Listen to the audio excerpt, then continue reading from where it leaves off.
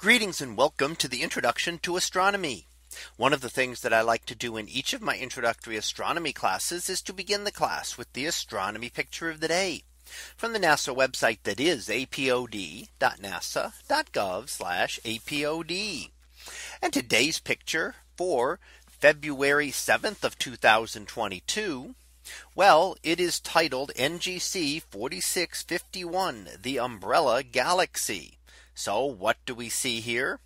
Well, this is a galaxy known as the umbrella galaxy for its distinctive shape. And it actually consists of a couple of galaxies here. The main galaxy centered in the image is a spiral galaxy in many ways, much like our own Milky Way. So if we could look at our Milky Way from the distance instead of inside, we might see something relatively similar to this. As we look up above it, what we see is the umbrella portion kind of a handle sticking up and then a galaxy stretch galaxy material stretching across is actually part of another galaxy, which is a small galaxy, which has been and is being torn apart by the gravitational field of the larger galaxies.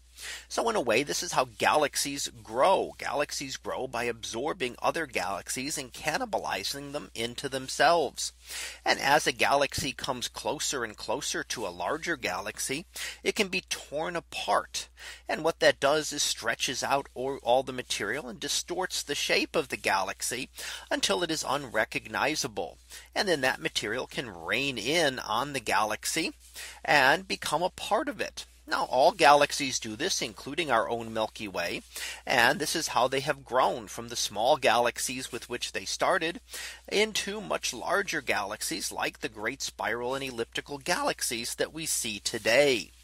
So in a way, we're really looking at two galaxies and we have a snapshot of this collision. Now because these uh, collisions and cannibalizations take so long, we can't actually watch them occur. We have to see only a snapshot here because this would take many millions of years, tens, hundreds of millions of years for the for this to be finished. And eventually it will just settle down and it will look like a normal spiral galaxy.